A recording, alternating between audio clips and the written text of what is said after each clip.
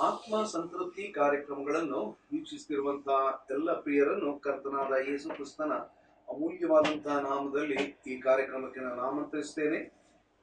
ಈ ದಿವಸ ನಾವು ದೇವರ ವಾಕ್ಯವನ್ನು ಧ್ಯಾನ ಮಾಡುವ ಮೊದಲು ದೇವರ ಪರಿಶುದ್ಧಾತ್ಮನು ನಮಗೆ ಸಹಾಯ ಮಾಡುವಂತೆ ನಾವು ಯಥಾರ್ಥವಾಗಿ ಪ್ರಾರ್ಥನೆ ಮಾಡೋಣ. ಭೂಮಿ ಆಕಾಶಗಳನ್ನು ನಿರ್ಮಾಣ ಮಾಡಿದ ಪರಲೋಕದ ನಮ್ಮ ತಂದೆಯಾದ ದೇವರೇ ನೀ ನಮಗೆ ಕೊಟ್ಟಿರುವಂಥ ಜೀವಳ ವಾಕ್ಯಕ್ಕಾಗಿಯೂ ಪವಿತ್ರಾತ್ಮನಿಗಾಗಿಯೂ ನಿನಗೆ ನಾವು ಸ್ತೋತ್ರ ಸಲ್ಲಿಸ್ತೇವೆ ನಿನ್ನ ಪವಿತ್ರಾತ್ಮನ ಕುರಿತಾದಂತಹ ಸತ್ಯಗಳನ್ನು ನಾವು ಧ್ಯಾನ ಮಾಡುತ್ತಿರುವಾಗ ನಿನ್ನ ವಿಶೇಷವಾದ ಸಹಾಯವನ್ನು ನಮಗೆ ಅನುಗ್ರಹಿಸು. ನಿನ್ನ ವಾಕ್ಯವನ್ನು ನಾವು ಕೇವಲ ಕಲಿಯುವುದು ಮಾತ್ರವೇ ಅಲ್ಲ, ನಿನ್ನ ವಾಕ್ಯಕ್ಕೆ ಒಳಗಾಗಿ ನಾವು ಜೀವಿಸುವಂತೆ ಅನುಗ್ರಹ ಮಾಡಬೇಕೆಂಬುದಾಗಿ ಪ್ರಾರ್ಥಿಸ್ತೇವೆ ನೀನು ಕರ್ತನೆ ನಮಗೆ ಕೊಟ್ಟಂತ ವಾಕ್ಯದಲ್ಲಿ ನಾವು ನೆಲೆಗೊಳ್ಳುವಂತೆಯೂ, ಅದರಲ್ಲಿ ನಾವು ಮುಂದೆ ಹೋಗುವಂತೆಯೂ ಅನುಗ್ರಹ ಮಾಡು. ಪ್ರಿಯ ವೀಕ್ಷಕರನ್ನು ಆಶೀರ್ವದಿಸು. ಯೇಸು ಕ್ರಿಸ್ತನ ದಿವ್ಯನಾಮದಲ್ಲಿ ನಮ್ಮ ಪ್ರಾರ್ಥನೆಯನ್ನು ಕೇಳಿದ್ದಕ್ಕಾಗಿ ನಿನಗೆ ಸ್ತೋತ್ರವಾಗಲಿ ಸ್ವಾಮಿ. ಆಮೇಲೆ ದೇವರ ಪರಿಶುದ್ಧಾತ್ಮನು, ಒಬ್ಬ ಮನುಷ್ಯನು ಆತನ ಪುನರ್ಜನ್ಮದಲ್ಲಿ ಆತನು ಭಾಗಿಯಾಗುವುದು ಮಾತ್ರವೇ ಅಲ್ಲ ಆತನ ಆತ್ಮೀಕವಾದಂತ ಬೆಳವಣಿಗೆಯಲ್ಲಿ ಆತನು ಮಹತ್ ಪಾತ್ರವನ್ನು ವಹಿಸುತ್ತಾನೆಂಬಂತ ಸತ್ಯವನ್ನು ನಾವು ತಿಳ್ಕೊಂಡಿದ್ದೇವೆ. ಒಬ್ಬ ಮನುಷ್ಯನು ಹೊಸದಾಗಿ ಹುಟ್ಟಿದ ನಂತರ ಅವನಲ್ಲಿ ನೂತನವಾದಂತ ಸ್ವಭಾವವನ್ನು ತರುವುದು ಮಾತ್ರವೇ ಅಲ್ಲ, ಆತನು ಆತ್ಮೀಕವಾದಂತ ರೀತಿಯಲ್ಲಿ ಬೆಳವಣಿಗೆ ಮಾಡುವುದಕ್ಕಾಗಿ ವಾಕ್ಯವನ್ನು ಆತನು ಉಪಯೋಗಿಸುತ್ತಾನೆ ಮತ್ತು ಈ ಮೂಲಕವಾಗಿ ಆತನನ್ನು ಬಲಪಡಿಸುತ್ತಾನೆ ಎಂಬುದನ್ನು ನೋಡಿದ್ದೇವೆ. ಮಾತ್ರವೇ ಅಲ್ಲ, ದೇವರ ಪರಿಶುದ್ಧಾತ್ಮನು ಒಬ್ಬ ಮನುಷ್ಯನು ಆತ್ಮೀಕವಾಗಿ ಬೆಳೆಯುವಾಗ ದೇವರ ವಾಕ್ಯದ ಆಳವಾದಂತ ಸತ್ಯಗಳನ್ನು ಗ್ರಹಿಸಿಕೊಳ್ಳುವಂತೆ ಆತನು ಮಾಡುತ್ತಾರೆ ಯಾವ ರೀತಿಯಲ್ಲಿ ಒಂದು ಮಗು ಹುಟ್ಟಿದ ನಂತರ ಮೊದಲು ಹಾಲು ಕುಡಿಯುತ್ತದೋ, ಮುಂದಿನ ದಿನಗಳಲ್ಲಿ ಅದು ಗಟ್ಟಿಯಾದಂತ ಆಹಾರವನ್ನು ಸೇವಿಸುವುದಕ್ಕೆ ಪ್ರಾರಂಭ ಮಾಡುತ್ತದೆ. ಇವಾಗ ನಾವು ಮುಂದಕ್ಕೆ ನಾವು ನೋಡೋಣ. ದೇವರ ಪರಿಶುದ್ಧಾತ್ಮನು ಮಾಡುವಂತ ಇನ್ನೊಂದು ಕೆಲಸ ಏನದು? ಏನದು? ಪವಿತ್ರಾತ್ಮನ ಆಶೀರ್ವಾದ.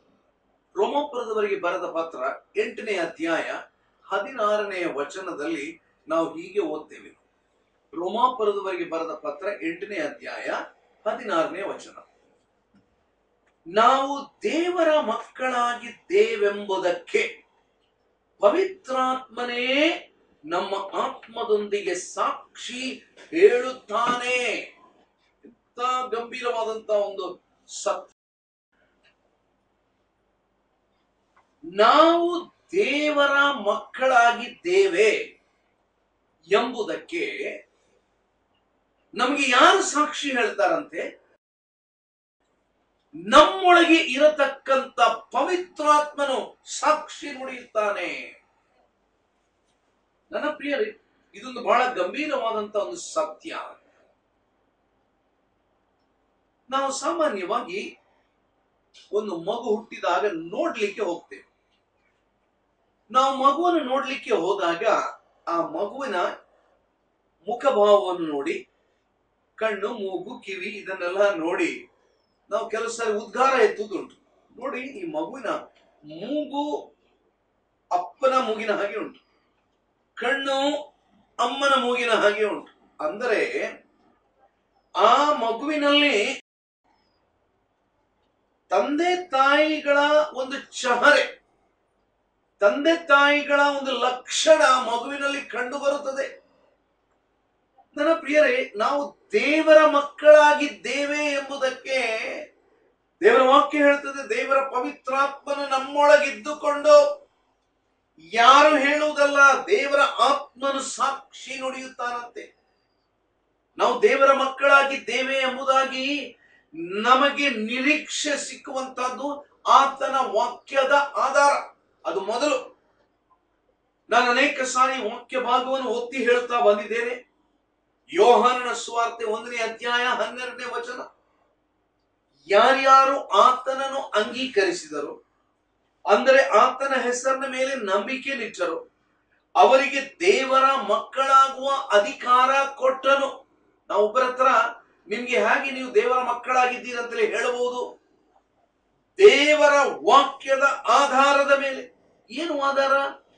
ದೇವರ ವಾಕ್ಯ ಏನು ಹೇಳ್ತದೆ ಯಾರ್ಯಾರು ಆತನನ್ನು ಅಂಗೀಕರಿಸಿದರು. ಹೌದು, ನಾನು ಇಂಥ ದಿವಸದಲ್ಲಿ, ಇಂಥ ತಾರೀಕಿಗೆ, ಒಂದು ವೇಳೆ ತಾರೀಕು ನಿಗದಿಯಾಗಿ ಹೇಳಲಿಕ್ಕಾಗದಿದ್ರು ಇಂಥ ಒಂದು ಸಂದರ್ಭದಲ್ಲಿ, ಇಂಥ ಹಿನ್ನೆಲೆಯಲ್ಲಿ ದೇವರ ಪರಿಶುದ್ಧಾತ್ಮನು ನನ್ನ ಜೊತೆಯಲ್ಲಿ ಮಾತನಾಡಿದನು. ನನ್ನ ಪಾಪಗಳಿಗಾಗಿ ನಾನು ಮಾನಸಾಂತರ ಪಟ್ಟು ಪಶ್ಚಾತ್ತಾಪ ಪಟ್ಟು ಯೇಸು ಕ್ರಿಸ್ತನು ನನ್ನ ರಕ್ಷಕನು ಎಂಬುದಾಗಿ ನಾನು ಆತನನ್ನು ಅಂಗೀಕರಿಸಿದೆ. ಯಾರ್ಯಾರು ಆತನನ್ನು ಅಂಗೀಕರಿಸಿದರು?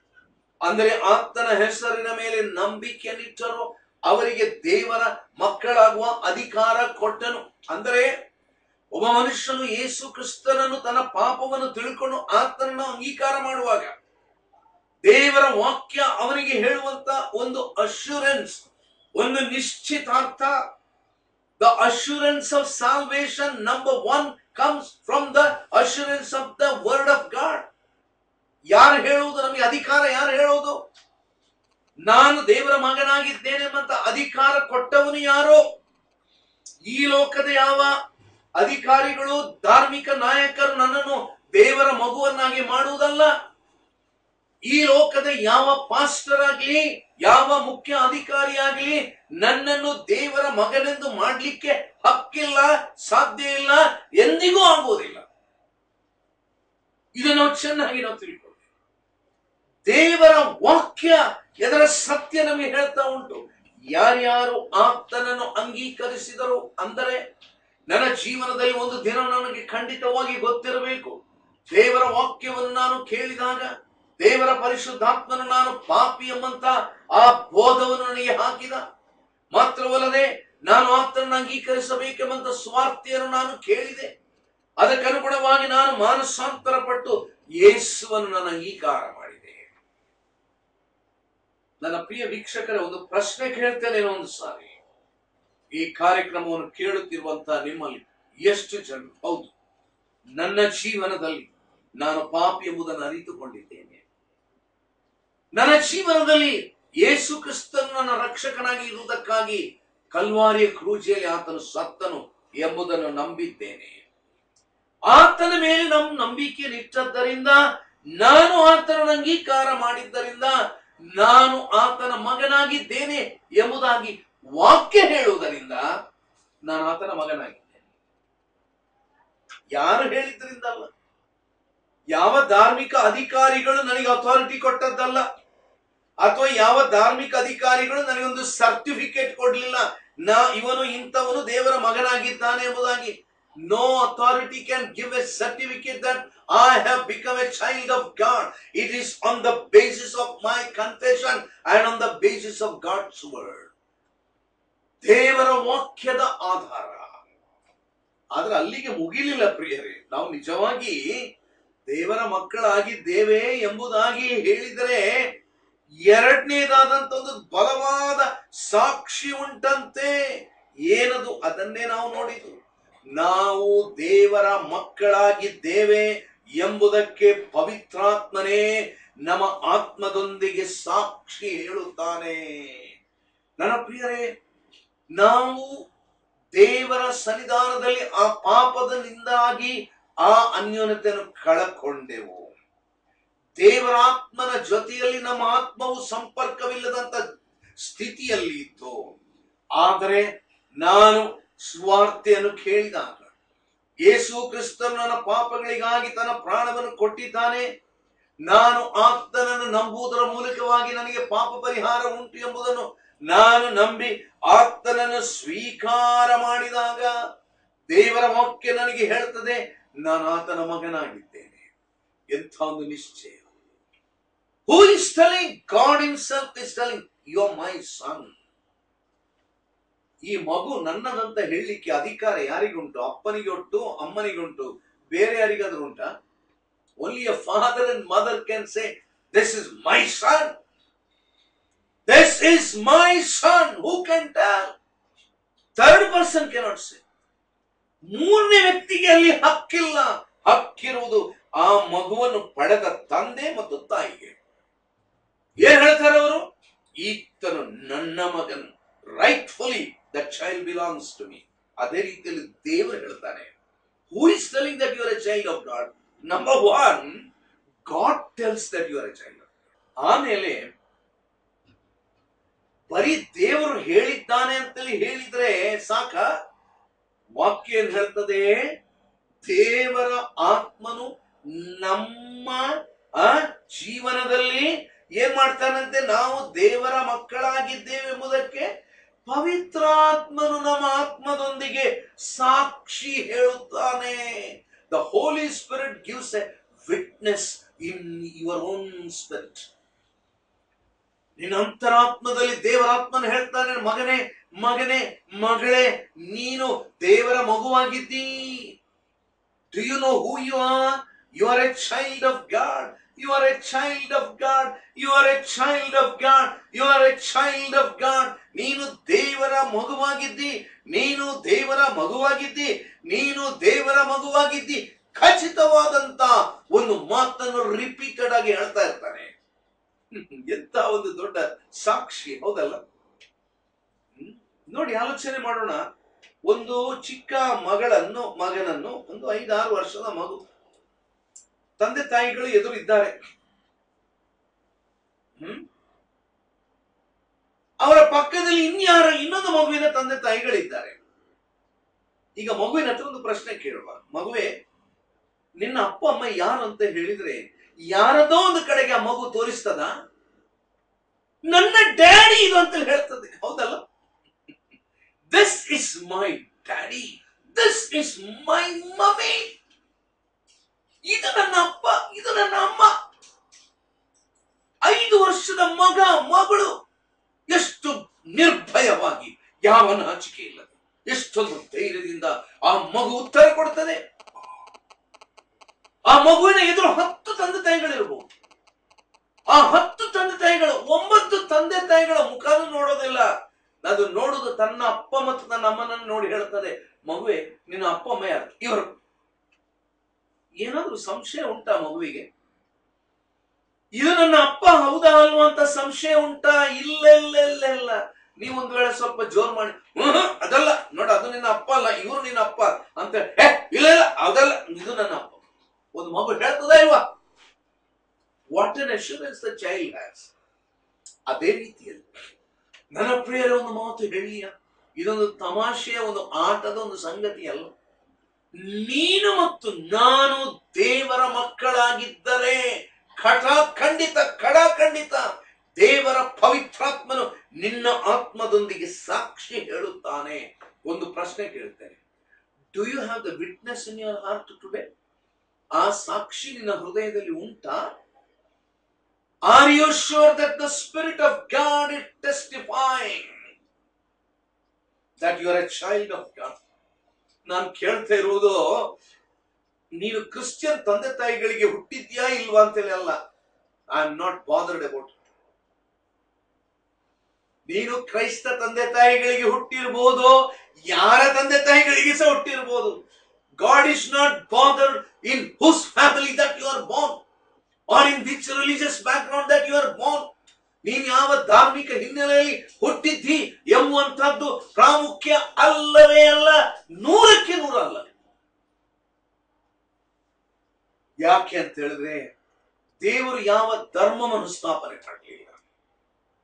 God never created a religion religion is man made but the new birth is God made ನೂತನ ಜೀವನ ಅದನ್ನು ದೇವರು ತಾನೇ ಮಾಡುವಂತ ಆದ್ದರಿಂದ ಮೊದಲನೇದಾಗಿ are you born again first question are you born again are you sure number two do you have a witness in your spirit that you are a child of God ನಾನು ದೇವರ ಮಗುವಾಗಿದ್ದೇನೆ ಎಂಬಂತ ಒಂದು ಸಾಕ್ಷಿ, ಬಲವಾದ ಸಾಕ್ಷಿ ನಿನ್ನ ಅಂತರಾತ್ಮದೊಳಗೆ ದೇವರಾತ್ಮನು ಹೇಳ್ತಾ ಇದ್ದಾನ ಹೇಳ್ತಾ ಇದ್ದಾನ.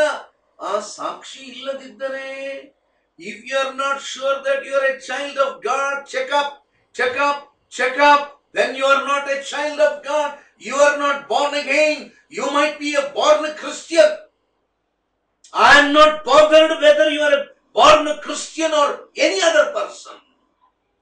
Because you are born Christian, you will never go to heaven. ನೀನು ಕ್ರೈಸ್ತನಾಗಿ ಹುಟ್ಟಿದ್ದಕ್ಕೆ ನೀನು ಪರಲೋಕಕ್ಕೆ ಹೋಗುವುದಿಲ್ಲ don't think that you are born in a Christian family or your father and mother is a Christian that you will go to heaven and you are a child of God. Sorry, no. Bible never says that. ಕ್ರೈಸ್ತ ತಂದೆ ತಾಯಿಗಳಿಂದ ನೀನು ಹುಟ್ಟಿದ್ದರಿಂದ ನೀನು ಕ್ರೈಸ್ತನಾಗುವುದಿಲ್ಲ. ಹೊಸದಾಗಿ ಹುಟ್ಟಿದ್ದೀಯೋ? ಆತ್ಮೀಕವಾದ ಪುನರ್ಜೀವನಿನಲ್ಲಿ ಉಂಟೋ? ದೇವರ ಪವಿತ್ರಾತ್ಮನಿ ಸಾಕ್ಷಿ ಹೇಳ್ತಿದ್ದಾನೋ? ಇನ್ನೊಂದು ವಚನ ನೋಡೋಣ. ಯೋಹಾನನು ಬರೆದಂತ ಮೊದಲನೇ ಪತ್ರ, ಯೋಹಾನನಿಗೆ ಬರೆದಂತ ಮೊದಲನೇ ಪತ್ರ ಮೂರನೇ ಅಧ್ಯಾಯ ಇಪ್ಪತ್ತ ನಾಲ್ಕನೇ ವಚನ. ಆತನ ಆಜ್ಞೆಗಳನ್ನು ಕೈಕೊಂಡು ನಡೆಯುವವನು ಆತನಲ್ಲಿ ನೆಲೆಗೊಂಡಿರುತ್ತಾನೆ. ಆತನು ಇವನಲ್ಲಿ ನೆಲೆಗೊಂಡಿರುತ್ತಾನೆ. ನಮ್ಮಲ್ಲಿ ನೆಲೆಗೊಂಡಿದ್ದಾನೆಂದು ಆತನು ನಮಗೆ ಅನುಗ್ರಹಿಸಿದ ಆತ್ಮನಿಂದಲೇ ಬಲ್ಲೆವು. ನನ್ನಲ್ಲಿ ದೇವರು ನೆಲೆಗೊಂಡಿದ್ದಾನಂತೇಳಿ ನನಗೆ ಗೊತ್ತು. ಬೇರೆಯವರಿಗೆ ಹೇಗೆ ಗೊತ್ತು? ನಾನು ಬೇಕಾದಷ್ಟು ಹೇಳಿಕೊಳ್ಬಹುದು ನೋಡಿ, ಇದು ಬಹಳ ಪ್ರಾಮುಖ್ಯವಾದಂತ ಸತ್ಯ. ನಾನು ಬೇಕಾದಷ್ಟು ಪಡಾಯಿ ಕೊಚ್ಚಿಕೊಳ್ಳಬಹುದು. ನಾನು ಕ್ರೈಸ್ತನು. ಹ್ಮ್, ನಾನ್ ಸಹ ನಂಬಿದ್ದೇನೆ. ಅನೇಕರು ಹೇಳ್ತಾರೆ ಇವತ್ತು, ನಂಬಿದ್ದೇನೆ ನಂಬಿದ್ದೇನೆ ನಂಬಿದ್ದೇನೆ. I also I believe I believe what believe there are everybody who says I believe believe believe believe believe if you simply say that I believe that is not the the fruit of it ನಾನು ನಂಬಿದ್ದೇನೆ ನಂಬಿದ್ದೇನೆ ಅಂತಲೇ ಹೇಳಿದ್ರೆ ಪ್ರಯೋಜನ ಇಲ್ಲ. ವಾಕ್ಯ ಏನ್ ಹೇಳ್ತದೆ ನೋಡ್ರಿ? ಆತನ ಆಜ್ಞೆಗಳನ್ನು ಕೈಕೊಂಡು ನಡೆಯುವವನು ಆತನಲ್ಲಿ ನೆಲೆಗೊಂಡ ನೋಡ್ರಿ, ಒಂದು ಕುಟುಂಬದಲ್ಲಿ ತಂದೆ, ತಾಯಿ, ಮಕ್ಕಳು, ಒಂದು ಮಗು, ಒಂದು ಮಗ. ಅವನು ಬೆಳೀತಾ ಬರುವಾಗ ಅಪ್ಪ ಹೇಳಿದಂತ ಒಂದು ಮಾತಿಗೆ ಅವನು ಮನ್ನಣೆ ಕೊಡ್ತಾನೆ. ಮತ್ತು ಅವನು ಹೇಳಿದ ಹಾಗೆ ಮಾಡ್ತಾನೆ. ಆದ್ರೆ ಪಕ್ಕದ ಮನೆಯಲ್ಲಿರುವಂತ ಇನ್ನೊಬ್ಬ ಹುಡುಗನ ತಂದೆ ಹೇಳಿದ ಹಾಗೆ ಮಾಡಬೇಕೆಂಬುದಾಗಿ ಅವನ ನಿರ್ಬಂಧ ಇಲ್ಲ.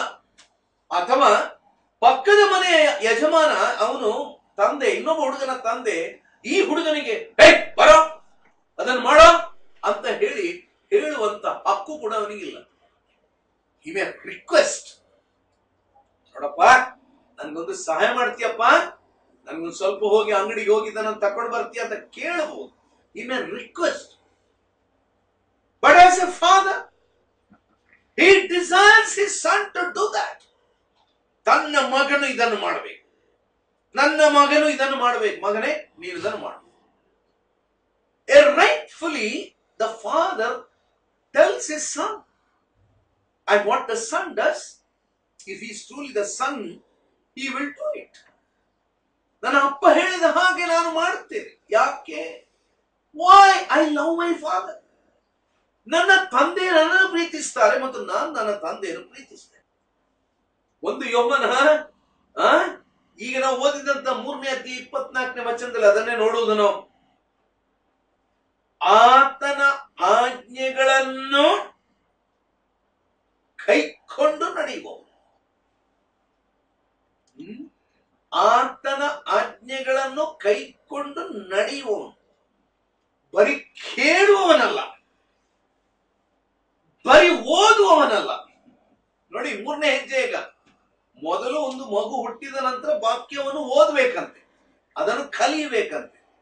ನಾವು ಅನೇಕ ಸಾರಿ ಮಕ್ಕಳಿಗೆ ಹೇಳ್ತೇವೆ ನಾವು, ಹೀಗೆ ಓದು ಹೀಗೆ ಓದು, ಹೀಗೆ ಮಾಡು ಹೀಗೆ ಮಾಡು. ಈಗ ಸ್ವಲ್ಪ ಅಡ್ವಾನ್ಸ್ ಈಗ. ಕಲ್ತ ನಂತರ ಏನ್ ಮಾಡ್ಬೇಕಂತೆ? ಬರೀ ಕಲಿಲಿಕ್ಕಾಗಿ ಕಲಿಯುವುದಲ್ಲ. ಕಲ್ತ ನಂತರ ಕಲ್ತದ್ದನ್ನು ಮಾಡಬೇಕು. ಇದು ದೇವರ ಮಕ್ಕಳಲ್ಲಿ ಕಂಡು ಬರುವಂತ ಒಂದು ವ್ಯತ್ಯಾಸ. ಲೋಕದ ಜನರಿಗೂ ದೇವರ ಮಕ್ಕಳಿಗಿರುವ ವ್ಯತ್ಯಾಸ ಇದೆ. ಬೈಬಲ್ ಎಲ್ಲರೂ ಓದ್ತಾರ್ರಿ? ಕ್ರೈಸ್ತರಂತ ಹೇಳೋರು ಎಲ್ಲರೂ ಬೈಬಲ್ ಓದ್ತಾರೆ. ಈ ಲೋಕದಲ್ಲಿ ಅನೇಕ ಧಾರ್ಮಿಕ ಜನರು ಬೈಬಲ್ ಓದ್ತಾರೆ. ಬೈಬಲ್ ಓದುವುದಕ್ಕೂ ಬೈಬಲ್ ಅಲ್ಲಿ ಇದ್ದದ್ದನ್ನು ಕೈಕೊಂಡು ನಡೆಯುವುದಕ್ಕೂ ವ್ಯತ್ಯಾಸ ಉಂಟು. ಬೈಬಲ್ ಓದಿದ ತಕ್ಷಣ ಕ್ರೈಸ್ತರಾಗುವುದಿಲ್ಲ. Don't have a misconception because you are reading the Bible every day you are a Christian no Bible ಓದಿದ ತಕ್ಷಣ ಕ್ರೈಸ್ತರಾಗುವುದಿಲ್ಲ. ವಾಕ್ಯದಲ್ಲಿ ನಾವು ಅದನ್ನೇ ನೋಡ್ತೇವೆ. ಆತನ ಆಜ್ಞೆಗಳನ್ನು ಕೈಕೊಂಡು ನಡೆಯಬೇಕು ಹಾಗಾದ್ರೆ ಮೊದಲು ಆತನ ಆಜ್ಞೆ ಯಾವುದಂತ ಗೊತ್ತಾಗುವ ನಾನು ಖಂಡಿತ ಓದ್ಬೇಕಲ್ಲ? ನಾನು ಅದನ್ನು ಕಲಿಬೇಕಲ್ಲ? ನಾನದನ್ನು ಧ್ಯಾನ ಮಾಡ್ಬೇಕಲ್ಲ? ನಾನದನ್ನು ಬಾಯ್ಪಾಠ ಮಾಡ್ಬೇಕಲ್ಲ? ನನ್ನ ಪ್ರಿಯರು, ನಾನೊಂದು ಪ್ರಶ್ನೆ ಕೇಳ್ತೇನೆ. ನಿಮ್ಮ ಜೀವನದಲ್ಲಿ ನಾನು ದೇವರ ಅಪ್ಪಣೆಗಳನ್ನು ಕೈಕೊಂಡು ನಡೆಯಬೇಕು ಎಂಬಂತ ಮನೋವೃತ್ತಿ ಉಂಟೋ? ನಾನು ಯಾರು ಕೇರ್ ಮಾಡ್ತಾರೆ? ಬೈಬಲಲ್ಲಿ ಬೇಕಾದಷ್ಟು ಹೇಳಿ. ಅನೇಕರು ಹೇಳೋದನ್ನು ಕೇಳಿದ್ದೇನೆ ನಾವು ಕ್ರೈಸ್ತರಂತ ಹೇಳುವವರೇ ಹೇಳ್ತಾರೆ. ಬೈಬಲ್ ಬಿಡ್ರಿ, ತುಂಬಾ ಹೇಳ್ತದೆ. ಅದನ್ನೆಲ್ಲ ಯಾರಿಗೆ ಮಾಡ್ಲಿಕ್ಕೆ ಆಗ್ತದೆ? ಕೇಳಿದ್ದೀರಾ? ನಾನು ಕೇಳಿದ್ದೇನೆ. ತುಂಬಾ ಜನ ಹೇಳೋದನ್ನು ಕೇಳಿ. ಬೈಬಲಲ್ಲಿ ತುಂಬಾ ಬರ್ದಿಯದೆ. ಅದನ್ನೆಲ್ಲ ಯಾರು, ಅಲ್ಲಿ ಎಲ್ಲ ಬರ್ದ ಹಾಕಿ ಮಾಡ್ಲಿಕ್ಕೆ ಆಗ್ತದ? ಮಾಡಬೇಕು ಅಂತ ವಾಕ್ಯ ಹೇಳ್ತದೆ if you are born of God you will do what God says if you are truly born of God you will do what the Lord God says ಇದು ಕುರುಹು. This is the proof that you are a child of ನೀನು ದೇವರ ಮಗುವಾಗಿದ್ದೆ ಅಂತ ಹೇಳಲಿಕ್ಕೆ ಒಂದು proof ಒಂದು ಆಧಾರ. ನನ್ನ ಪ್ರಿಯರಿಗೆ ಈ ಆಧಾರ ಉಂಟಾ ನಿನ್ನಲ್ಲಿ? ಈ ಆಧಾರಕ್ಕನುಗುಣವಾಗಿ ನೀನು ಜೀವಿಸುತ್ತೀಯೋ. ನನ್ನ ಪ್ರಿಯರೇ ಇದೊಂದೆಷ್ಟೋ ಗಂಭೀರವಾದಂತ ಒಂದು ಸತ್ಯ. ಕೊನೆಯದಾಗಿ ಇನ್ನೊಂದು ವಚನವನ್ನು ಓದ್ತೇನೆ. ನಾನು ಮಾತು ಮುಗಿಸುವ ಮೊದಲು ಕೊರಿಂತದವರಿಗೆ ಬರೆದಂತ ಎರಡನೇ ಪತ್ರ. ಆ ಕೊರಿಂತದವರಿಗೆ ಬರೆದಂತ ಎರಡನೇ ಪತ್ರ ಮೂರನೇ ಅಧ್ಯಾಯ, ಅದರಲ್ಲಿ ಹದಿನೇಳನೇ ವಚನ. ಕೊರಿಂತದವರಿಗೆ ಬರೆದಂತ ಎರಡನೇ ಪತ್ರ ಮೂರು ಹದಿನೇಳು. ಆ ಕರ್ತನು ದೇವರಾತ್ಮನೇ ಕರ್ತನ ಆತ್ಮನು ಯಾರಲ್ಲಿದ್ದಾನೋ ಅವರಿಗೆ ಬಿಡುಗಡೆ ಉಂಟು. ತನ್ನ ಪ್ರಿಯರೇ, ಬಹಳ ಅಮೂಲ್ಯವಾದಂತ ಇನ್ನೊಂದು ಸತ್ಯ. ದೇವರಾತ್ಮನು ನಿನ್ನಲ್ಲಿದ್ದರೆ ಯು ಆರ್ ಫ್ರೀ ಇನ್ ನಿನಗೆ ಬಿಡುಗಡೆ ಉಂಟು. ಯಾವುದರಿಂದ ಬಿಡುಗಡೆ? ಪಾಪದಿಂದ ಬಿಡುಗಡೆ, ಲೋಕದಿಂದ ಬಿಡುಗಡೆ ಸೈತಾನನಿಂದ ಬಿಡುಗಡೆ, ನಿನ್ನ ಸ್ವಾರ್ಥದಿಂದ ಬಿಡುಗಡೆ. ನನ್ನ ಪ್ರಿಯರೇ, ಯಾಕೆ ಅನೇಕರು ಬಂಧನದಲ್ಲಿದ್ದಾರೆ ಗೊತ್ತಾ? ಅನೇಕ ಬಂಧನಗಳು, ಕುಡಿಕತನದ ಬಂಧನ, ಸಿಗರೇಟಿನ ಬಂಧನ, ದುರಭ್ಯಾಸಗಳ ಬಂಧನ, ಅಯೋಗ್ಯ ಜೀವನದ ಬಂಧನ. ಬಾಯಲ್ಲಿ ಮಾತ್ರ ಹೇಳ್ತಾರೆ, ನಾನು ಯೇಸುವಿನ ಮಗ. ಬಾಯಲ್ಲಿ ಹೇಳ್ತಾರೆ, ನಾನು ಕ್ರೈಸ್ತ. ಅಬ್ಬಬ್ಬಬ್ಬಬ್ಬ ಅವರ ಜೀವನ ನೋಡಿದ್ರೆ, ಅವರಲ್ಲಿರುವ ಬಂಧನಗಳನ್ನು ನೋಡಿದ್ರೆ, ಅಯ್ಯೋ, ಯಾರಿಗೂ ಬೇಕಾಗಿಲ್ಲ. ಕೆಳಗೆ ಕೇಳ್ತೇವೆ, ಇವನು ಕ್ರೈಸ್ತನ? ಅನೇಕರಿಗೆ ಸ್ವಲ್ಪ ಸಂಶಯ ಆಗ್ತದೆ. ಕ್ರೈಸ್ತರು ಕ್ರೈಸ್ತರು ಕ್ರೈಸ್ತರು ಅಂತ ಹೇಳುವಾಗ, ಇವರೆಲ್ಲರೂ ಹೀಗೆ ಇದ್ರೆ, ಈ ಕ್ರೈಸ್ತತ್ವ ನನಗೆ ಬೇಡ ಅಂತ ಹೇಳುವವರಿದ್ದಾರೆ ಕಾರಣ ಏನು? ಅವರ ಜೀವನದಲ್ಲಿ ಅವರು ನಿಜ ಕ್ರೈಸ್ತರು ಅಲ್ವೇ ಅಲ್ಲ. ಹೆಸರಿಗೆ ತಕ್ಕ ಕ್ರೈಸ್ತ. ನನ್ನ ಪ್ರಿಯರೇ, ತಪ್ಪು ತಿಳ್ಕೊಳ್ಳಿ. ದೇವರ ವಾಕ್ಯ ಹೇಳುವಂತ ಬಹಳ ಗಂಭೀರವಾದಂತ ಒಂದು ಸತ್ಯ ಇದಾಗಿದೆ. ಏನ್ ಹೇಳ್ತಾನೆ? ಕರ್ತನ ಆತ್ಮನು ಯಾರಲ್ಲಿದ್ದಾನೋ ಅವರಿಗೆ ಬಿಡುಗಡೆ ಉಂಟು. ಕೊನೆಯದಾಗಿ ಇನ್ನೊಂದು ವಚನ. ರೋಮಾಪುರದವರಿಗೆ ಬರೆದಂತ ಪತ್ರ, ಎಂಟನೇ ಅಧ್ಯಾಯ. ಬಹಳ ಗಂಭೀರವಾದಂತಹ ಸತ್ಯವನ್ನು ಭಕ್ತನಾದಂತಹ ಪೌಲನು ಇಲ್ಲಿ ಹೇಳ್ತಾ ಇದ್ದಾನೆ, ಎರಡನೇ ವಚನ. ಯಾಕೆಂದರೆ ಜೀವವನ್ನುಂಟು ಮಾಡುವ ಪವಿತ್ರಾತ್ಮನಿಂದನಾದಂಥ ನಿಯಮ ನಿನ್ನನ್ನು ಪಾಪ ಮರಣಗಳಿಗೆ ಕಾರಣವಾದ ನಿಯಮದಿಂದ ಕ್ರಿಸ್ತ ಯೇಸುವಿನ ಮೂಲಕ ಬಿಡಿಸಿತು. ದೇವರಿಗೆ ಸ್ತೋತ್ರ. ಯಾವುದರಿಂದ ಬಿಡುಗಡೆ ಮಾಡಿತು? ಪಾಪದಿಂದ ಬಿಡುಗಡೆ ಮಾಡಿತು. ಹಾಗಾದ್ರೆ ಇನ್ನು ಮೇಲೆ ನೀನು ಯಾವುದಕ್ಕೆ ಬಂಧನಕ್ಕೆ ಒಳಗಾದವನಲ್ಲ, ಪಾಪಕ್ಕೆ ಒಳಗಾದವನು. ನನ್ನ ಪ್ರಿಯರೇ, ಈ ಅನುಭವ ನಿನಗೆ ಉಂಟು. ಈ ಅನುಭವ ನಿನ್ನದಾಗಿದ್ದರೆ ದೇವರಿಗೆ ಸ್ತೋತ್ರ. ಹಾಗಾದ್ರೆ ಎರಡು ವಿಷಯ. ಮೊದಲನೇದಾಗಿ, ದೇವರ ಪರಿಶುದ್ಧಾತ್ಮನು ನನಗೆ ರಕ್ಷಣೆಯ ನಿಶ್ಚಯತ್ವವನ್ನು ಕೊಡುತ್ತಾನೆ. ಎರಡನೇದಾಗಿ, ನನ್ನ ಜೀವನದಲ್ಲಿ ಬಿಡುಗಡೆಯನ್ನು ಆತನು ಕೊಡುತ್ತಾನೆ. ದೇವರಿಗೆ ನಾವು ಸ್ತೋತ್ರ ಸಲ್ಲಿಸೋಣ. ನಮ್ಮ ತಲೆಗಳನ್ನು ಭಾಗಿಸಿ ಪ್ರಾರ್ಥಿಸೋಣ. ಭೂಮಿಯಾಕಾಶಗಳನ್ನು ನಿರ್ಮಾಣ ಮಾಡಿದ ಪರಲೋಕದ ತಂದೆಯಾದ ದೇವರೇ, ನಿನ್ನ ಪವಿತ್ರಾತ್ಮನು ನನಗೆ ರಕ್ಷಣೆಯ ನಿಶ್ಚಯತ್ವವನ್ನು ಕೊಡುವವು ನಿನ್ನ ಪವಿತ್ರಾತ್ಮ ನನಗೆ ಬಿಡುಗಡೆಯನ್ನು ಕೊಡುವ ಎಂತ ಶ್ರೇಷ್ಠ ಆತ್ಮನ ಸ್ವಾಮಿ. ನಿನ್ನ ಪವಿತ್ರಾತ್ಮನ ಸತ್ಯಗಳನ್ನು ನಾನು ಕೇವಲ ಕಲಿಯುವುದು ಮಾತ್ರವಲ್ಲ, ಆ ಪವಿತ್ರಾತ್ಮನ ಮೂಲಕವಾಗಿ ನನ್ನ ಆತ್ಮನಲ್ಲಿ ನೆಲೆಗೊಂಡು ನಿನಗಾಗಿ ನಾನು ಜೀವಿಸುವಂತೆ ಅನುಗ್ರಹಿಸು. ನಾನು ನಿನ್ನ ಹತ್ತ ಹತೋಟಿಗೆ ಕೊಟ್ಟಿದ್ದೇವೆ, ನಮ್ಮನ್ನು ಆಶೀರ್ವದಿಸು. ಯೇಸು ಕ್ರಿಸ್ತನ ದಿವ್ಯನಾಮದಲ್ಲಿ ನಮ್ಮ ಪ್ರಾರ್ಥನೆಯನ್ನು ಕೇಳಿದ್ದಕ್ಕಾಗಿ ನಿನಗೆ ಸ್ತೋತ್ರ ಸ್ವಾಮಿ. ಆಮೇಲೆ